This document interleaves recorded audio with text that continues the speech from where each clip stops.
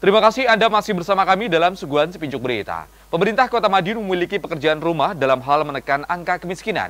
Pasalnya, angka kemiskinan mengalami kenaikan. Selain itu, garis kemiskinan di Kota Madiun tertinggi sekarsidenan Madiun. Sesuai data dari Badan Perencanaan Pembangunan Daerah atau Bapeda Kota Madiun mencatat jumlah penduduk miskin di Kota Madiun bertambah 230 jiwa pada tahun 2021. Tercatat dari 8.830 jiwa pada Maret 2020 menjadi 9.060 jiwa pada Maret 2021 atau meningkat sebesar 2,66 persen.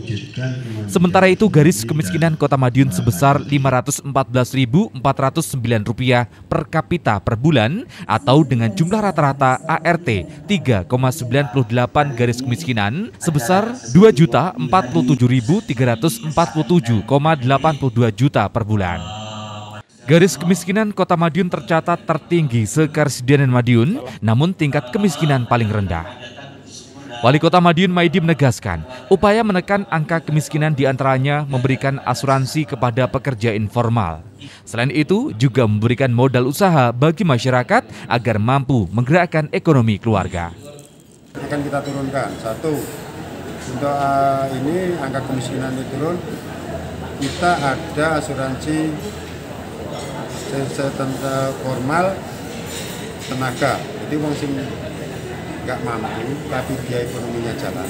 Kabel bakso, angkringan, pembantu ini kita asuransikan. Artinya kalau ini sampai tulang punggungnya meninggal tidak tambah kemiskinan.